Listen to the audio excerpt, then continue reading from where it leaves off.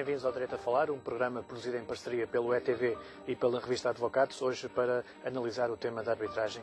Eh, na próxima semana terá lugar o quarto encontro internacional eh, de arbitragem de Coimbra e temos connosco Miguel da Almada, advogado da Moraes Leitão, e uh, António Júdice da PLMJ, bem-vindos ao Direito a Falar. Eu gostava de, de, de, antes de mais, agradecer a vossa presença e começar aqui pelo Miguel, uh, perguntar-lhe qual é a importância deste encontro para, para o conjunto das, dos escritórios portugueses e uh, também qual é a importância da, da arbitragem para as empresas e para os cidadãos comuns.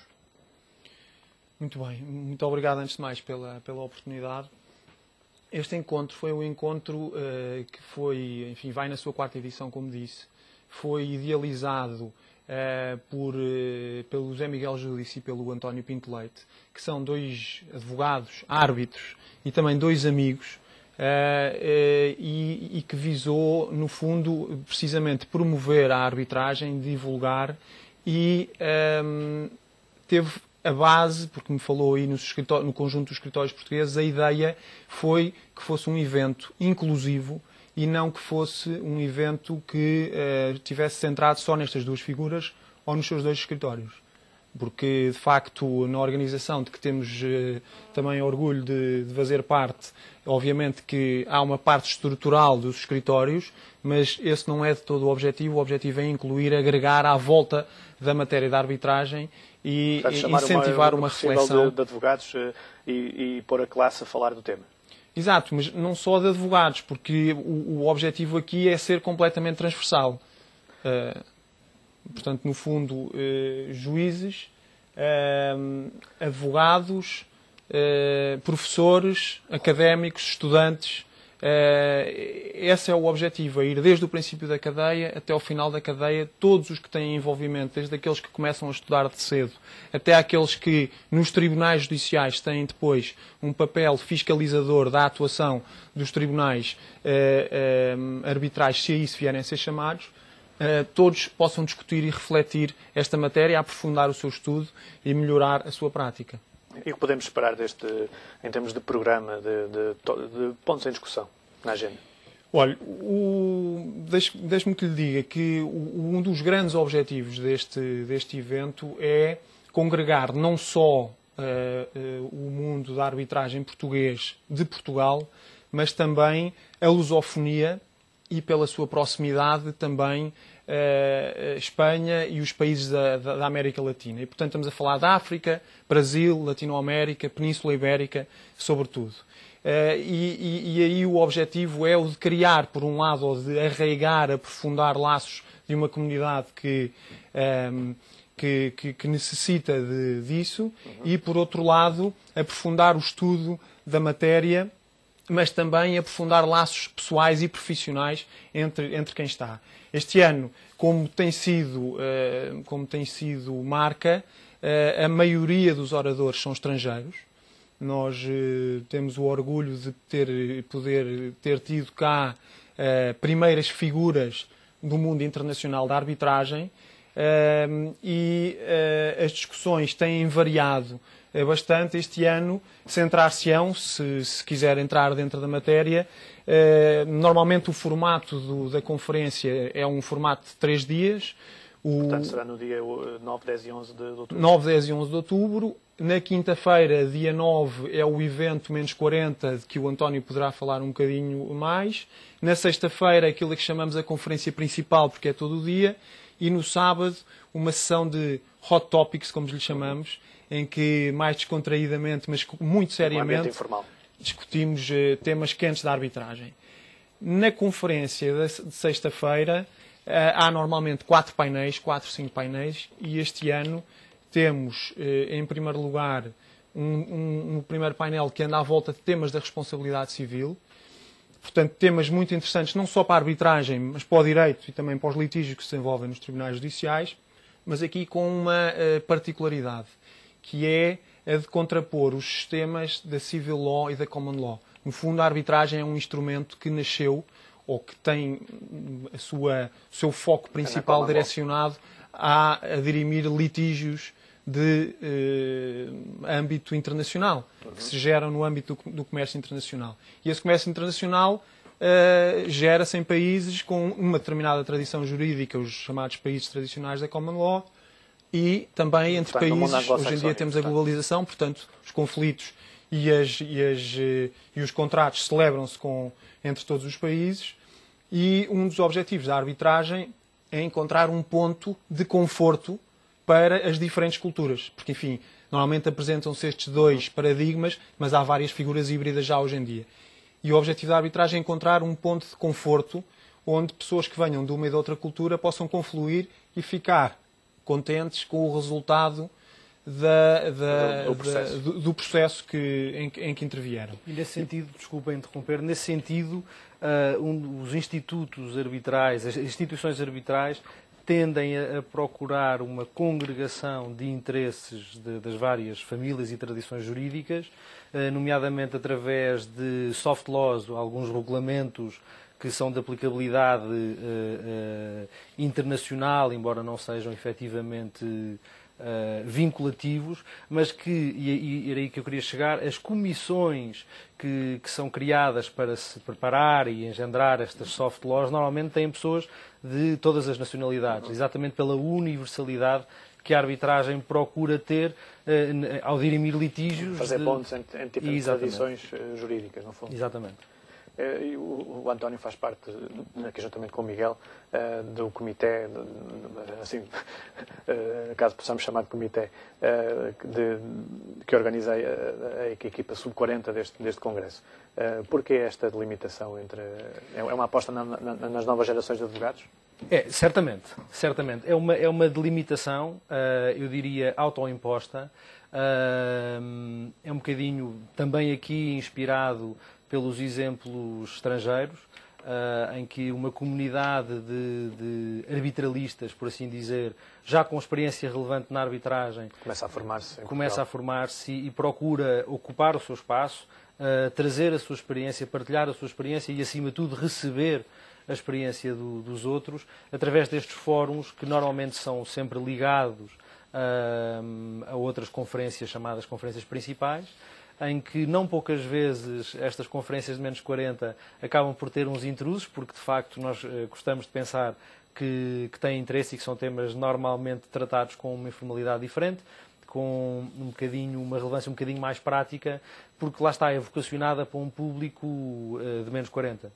Exato, bom, bom público. Mas sem retirar uh, seriedade, pelo menos é a intenção é, é, é informal, mas sério. Informal, mas sério. Uh, e, e, como é que Portugal se posiciona uh, a nível mundial na arbitragem? Temos muito ainda que evoluir uh, enquanto, enquanto do ponto de vista de, das empresas e, dos cidadãos. Há uma consciência coletiva de que existe este, este instrumento ao serviço da justiça? Nós, nós falamos muitas vezes sobre, sobre essas questões quase existenciais. Eu acho que Portugal, neste momento, é terreno fértil para a arbitragem. Uh, não só do ponto de vista das circunstâncias, uh, mas também do ponto de vista regulamentar, legislativo, de, de, vontade política. De facto, eu acho que nós estamos numa situação uh, muito fértil, podemos aproveitar, saibamos fazê-lo. com isto, também é verdade que, que a arbitragem é, no seu sentido mais moderno do termo, é relativamente recente em Portugal. Nós temos agora uma legislação relativamente nova que, que veio, no fundo, o, enquadrar esta atividade. Enquadrar este, e, este instrumento de justiça. Eu diria modernizar, o, sem querer ser muito técnico, a nova lei de arbitragem também ela é, é, é de um cariz muito internacional, é um modelo internacional seguido e testado, e eu acho que hoje em dia temos as condições para, para que a arbitragem se desenvolva e tem se desenvolvido de facto já muito. Miguel, e, e uh, Portugal tem, tem potencial uh, para servir de, de, centro arbitral, por assim dizer, uh, para, por exemplo, os países lusófonos? É, é, é algo Sem que dúvida. esta nova lei permite isso? Sem dúvida. Ehm, eu acho que mais do que a nova lei, a nova lei, eu estou inteiramente de acordo com o António, veio modernizar e pôr-nos eh, com aquilo que se poderia chamar os necessários mínimos olímpicos para entrarmos dentro desse, desse campeonato.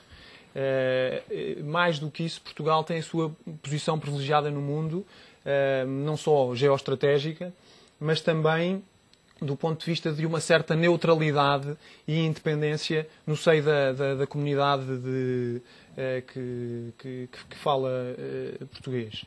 E, portanto, aí temos que aproveitar decisivamente esse, esse capital. Essa ligação histórica. a ligação histórica ao Brasil, à África e a outras zonas do globo em que se fala português. Mas mais do que isso, eu acho que nós não devemos, para usar a expressão que usei há bocado, não devemos querer tudo de uma só vez mas não há razão nenhuma para os juristas portugueses, com a qualidade que têm, os hábitos portugueses com a qualidade que têm, os advogados, não estarem eh, completamente inseridos no mundo da arbitragem internacional, que é hoje uma forma de dirimir litígios que tem a sua própria comunidade, tem as suas boas práticas, tem eh, o, seu foro natural de desenvolvimento. E repare, se eu lhe der um exemplo, se eu lhe disser que acontece haver litígios, por exemplo, relacionados com países de língua oficial portuguesa, que não passam nem por esses países de língua oficial portuguesa, nem por Portugal, mas sim são dirimidos, por exemplo, em Paris, com hábitos de diferentes nacionalidades, nenhuma portuguesa, nem africana, nem brasileira. E, além de serem dirimidos em Paris, às vezes até nem sequer a língua é a portuguesa, isto é algo que espanta, mas é algo que acontece. Não há razão nenhuma para Portugal e os restantes países de língua oficial portuguesa terem de recorrer a, esses não, exato, não passarem a ser eles que estão com o pé dentro dessas, dessas decisões, dentro desses processos e a ditar esses caminhos. Mas mais do que isso, não há razão nenhuma para que, havendo litígios eh, no Brasil entre uma empresa brasileira e uma americana, ou entre uma empresa entre mesmo até entre duas empresas brasileiras, não possa ser nomeado um árbitro português. Eu acho que aí se me permite, voltando a pegar no ponto dos encontros, os encontros não, uh, não vieram inventar nada, mas inseriram-se dentro de um movimento de expansão da arbitragem portuguesa, inseriram-se bem e acho que contribuíram decisivamente para que alguns destes objetivos sejam conseguidos, porque hoje temos vários árbitros nomeados, por exemplo, pela CCI, que é a entidade dominante a nível mundial eh, na organização de arbitragens, vários árbitros portugueses nomeados para litígios que muitas vezes não têm eh, qualquer relação com Portugal. Nem a lei, nem o direito, nem a, nem a língua, nem eh, o país da sede como já acontecia e acontece com árbitros de outras nacionalidades que não são melhores. Há, portanto, um potencial para, para Portugal ser um, um centro internacional de arbitragem que vai além até da própria lusofonia. Portanto, Acho, acho que, há, acho que, há, acho que nesse, temos que dar caminho. passos seguros. Acho que a lusofonia é o nosso espaço natural. Eh, acho que não vamos dominar o mundo da arbitragem, certamente. Eh, mas acho que temos que, pouco a pouco, consolidar este crescimento que vem, tem, vem, tem, vindo a ser feito para ir pondo o pé aqui e ali noutros espaços que podem não ser os nossos espaços naturais, perfeitamente. E há um, há um tema que é, que é, recorrente quando se fala de arbitragem em Portugal, que são os custos uh, da arbitragem. Há, há, é ainda é, é, possível reduzir o custo da arbitragem para as empresas? Bom, Ou estes estão dentro do, do possível é do normal? Uh, uh, antes de responder à sua pergunta, possível é, de facto, a arbitragem depende do consenso das partes, portanto, as partes podem antecipadamente uhum. uh, ditar que as regras do jogo são com estes custos e depois terão, terão o tribunal arbitral que tiverem. Mas, mas utilizando uh, uh, as escalas de custo mais comuns, de facto, a arbitragem é aparentemente mais cara. Em todo o caso, sempre se diga que a partir de determinados valores concorre e, e a partir de, e ultrapassando esses valores até é mais barata seja, em teoria que os tribunais judiciais. Eh, em que estejam em causa uh, valores mais elevados e, e prazos muito longos, uh, a arbitragem torna-se mais barata, no fundo. Uh, sim, mas, mas isso acaba por, por ser um, um, uma limitação e quase um constrangimento na definição das vantagens da arbitragem. A arbitragem pode ser tendencialmente mais cara, uh, mas também não é verdade porque uh, um litígio seja com que valor, que valor tiver, acaba por ser um peso para, um, para uma empresa, seja contabilisticamente, seja, seja por imputação de, no fundo, de capitais, alocação de capitais a, a, a, que não pode ser feita. Portanto, há, há uma série de circunstâncias que fazem com que a arbitragem seja mais atrativa. Porquê? porque tendencialmente a arbitragem também é mais rápida que os tribunais judiciais e que os meios normais Qual é o prazo médio, digamos, de um, de, um, de um, processo na arbitragem em, em Portugal? Depende, depende de, de, várias situações, mas eu diria que um ano e meio o, o litígio está resolvido. Incluindo em casos mais complexos? Sim, pode ser, pode ser bastante justiça, menos. Pode ser bastante menos e, e, e, com, com a pouca experiência que tenho, também lhe digo que não, não, não tenho tido muitos casos que ultrapassem esse ano e meio. E em termos de sensibilização da classe, acham que, que, os advogados portugueses uh, estão já convencidos das, das, virtudes da arbitragem? É preciso fazer um trabalho de sensibilização nesse aspecto? Eu agradeço-lhe essa pergunta. Eu acho que hum, tem havido algum ruído à volta da arbitragem e à volta do fenómeno da arbitragem. Um, e por isso a resposta mais direta que eu teria para si é não. Eu acho que uh, há vozes altas que, que não, não, não, vale a pena identificar, todos conhecemos, que falam da arbitragem como quase se fosse uma, uma invenção recente, uma espécie de uma sociedade secreta onde, onde se violam princípios e, e regras uh, dentro, de, dentro de um espaço reduzido uh, e muitas vezes em desfavor do, do, do Estado de Direito Democrático. E eu acho que é, nada mais errado, e ainda bem que me dá uns segundos para esclarecer isso. Eu acho que, em primeiro lugar, é preciso termos claro que a arbitragem existe como fenómeno de resolução de litígios, como meio de resolução de litígios, muito antes de existirem os tribunais do Estado. Essa é a primeira, quer dizer, o António falou e bem no, no, na configuração mais moderna da arbitragem, na importância que ela é teve em Portugal, que, que, que é mais recente, mas a arbitragem é um instituto anterior à Grécia Antiga e a, e a Roma. Uh, depois, a, a, a, arbitragem tem garantia constitucional. Em Portugal, está consagrada na Constituição, os tribunais arbitrais têm uma equiparação aos outros tribunais. Além disso, temos também sempre a certeza de que os tribunais judiciais terão um papel fiscalizador da legalidade uh, e funcionarão como guardiães dessa legalidade de última rácio, é certo, não intervirão em todos os processos arbitrais, desejavelmente intervirão uh, o menos possível, eh, mas se for preciso, se se violar um corpo eh, inviolável, diria eu, de regras fundamentais, segundo as quais qualquer processo adversarial tem que correr, os tribunais do Estado podem intervir e as fiscalizar. podem recorrer a. a... Exato. Norm... concordem com, Normalmente, com na configuração atual e moderna da arbitragem, a arbitragem não eh, inclui a possibilidade de recurso, embora as partes possam convencionar. Um mas há sempre uh, há sempre o, o, a chamada ação de anulação da sentença, uhum. que uh, se pode, à qual se pode dar desencadear a parte que uh, entenda que, que, foi prejudicada e que não foram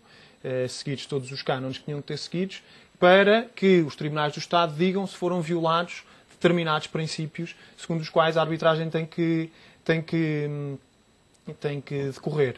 E aqui para acabar de desmistificar esta ideia, é importante que percebamos que a arbitragem também não é uma invenção de Portugal. Não é algo que haja alguns juristas portugueses que quiseram fazer para lesar os interesses do Estado ou para terem uma justiça privada e imperceptível ao restante população. É um fenómeno mundial, é um fenómeno do comércio mundial, é um fenómeno que contribui para a competitividade do país, para atrair investimento. Porque repare, quem quer investir em Portugal muitas pessoas não querem estar sujeitas, muitas eh, empresas de outros países não querem estar sujeitas aos imponderáveis do sistema judicial, seja português, seja de outro país. Querem ter algo que conhecem, o que conhecem é a arbitragem. E, portanto, é um fator da atratividade do país. E é também um movimento mundial, como eu dizia, no qual Portugal tem que se inserir e tem que estar, e tem que estar presente e com força não isolar-se, porque as pessoas que muitas vezes defendem esta configuração obscurantista da, da, da arbitragem são as pessoas que acham que Portugal eh, saiu no 25 de Abril de um período de isolamento, mas ao mesmo tempo, ao defenderem o que defendem, estão a defender que voltemos a um período de isolamento ou que não propiciemos e não, não, não criemos as condições necessárias para que esse isolamento não exista e para que nos coloquemos no centro do mundo da resolução dos litígios. Há uma das vantagens que, que, se costuma associar à arbitragem é o grau de especialização dos árbitros. Uh, em Portugal, uh, temos árbitros uh, suficientemente qualificados para, para julgar os, os, os casos que, que, que, surgem? Nós, em Portugal, temos árbitros muito especializados, com, com, com, enorme capacidade, porque temos ótimos juristas, temos ótimos advogados, temos ótimos também juízes Uh, e de facto o, o, ser um, um, bom árbitro, nós uh, felizmente temos todas as capacidades de o ser. Uh, o grau de especialização de um, de um, árbitro numa arbitragem que é desejável no sentido em que eu se tenho de decidir um litígio sobre uma determinada indústria, é, é, é melhor que, se eu conhecer, se eu souber que língua é que se fala. Como, o paralelismo é, eu, eu, eu, vou tentar litigar em, em, em, espanhol, mas é melhor que um espanhol que conhece a língua. E, de facto, o, o, esse grau de especialização acaba por ser uma vantagem para, para ambas as partes. Uh, em resposta à sua pergunta, eu acho que esta, estes, estes, encontros internacionais de arbitragem, estas iniciativas, uh, desde logo nos menos 40, mas mesmo nos, nos, eventos principais, são também eles uma forma de não só uh, preparar melhor os hábitos portugueses, mas mostrar à comunidade internacional que a arbitragem portuguesa e que a comunidade arbitral portuguesa está preparada e é capaz. Mas há, há, há, há, projetos em curso para, para reforçar a formação dos árbitros em Portugal? neste momento? Uh, existem, de facto já... É uma aposta que tem sido feita? É uma aposta que tem sido feita, nomeadamente por, por, por centros de arbitragem. Por exemplo, o centro de arbitragem uh, do Centro de Arbitragem de Lisboa uh, já fez uma segunda edição, portanto já, já houve dois eventos que são cursos de preparação de árbitros em que pessoas de, das mais variadas origens, uh, desde economistas, juristas, advogados, se, engenheiros, se inscreveram nesse curso uhum. e prepararam-se uh, com, com um programa muito específico para, para, para serem melhores árbitros. Uns já eram, outros nunca foram, e de facto tem existido um, esse cuidado. Há um, há um, movimento a nível da sociedade, cada vez mais interesse uh, pela arbitragem. É isso, se me, se me, permite só dar, só dar claro. uma chega, o, de facto, acho que há também que gabar o, o papel de, que a Associação Portuguesa de Arbitragem tem tido, desde a sua criação, que é relativamente recente, eh, mas, se, mas é, é, é, particularmente impressivo se compararmos o que sucede agora com o que acontecia há 10 anos. Isto é, hoje temos cursos de pós-graduação, temos pessoas a doutorarem-se em questões relacionadas com a arbitragem, temos escritos, temos publicações especializadas, temos árbitros, advogados a escreverem em revistas especializadas lá fora, a darem conferências lá fora, e portanto, eh, eu. Eh, que tenho o privilégio de trabalhar nesta área e com uma forte componente internacional desta área e, portanto, também eh, de trabalhar com, de interagir e trabalhar em conjunto com escritórios, árbitros de várias nacionalidades. Eh, é certo que eh, há áreas, como seja Paris, Londres e outros sítios, em que se nota que há toda uma carga que vem de trás e todo um peso e uma, e uma rotação que ainda não há em Portugal mas modo de, no, modo de, trabalhar, profundidade, adaptabilidade, em nada ficamos atrás uh, a, esses, a esses players. Muito, muito, obrigado mais uma vez pela vossa presença. Uh, o Direito a Falar uh, regressa depois de um curto intervalo para mais um, um, um tema e um novo convidado.